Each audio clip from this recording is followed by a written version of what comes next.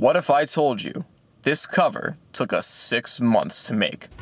Yeah, that was my fault. Anyway, my name is Carter Miller. I did the video editing and the audio editing for this project. So if you feel so inclined, feel free to drop by my channel where I do trumpet covers and tutorials every single weekend. Trumpet Guy does the same thing. We all offer sheet music. And why not just learn how to play the top three songs of the top Hot 100 in a single weekend? I don't know why you wouldn't do that. That's what I'd be doing. So feel free to drop by my channel and Trumpet Guys, and I'll see you next time.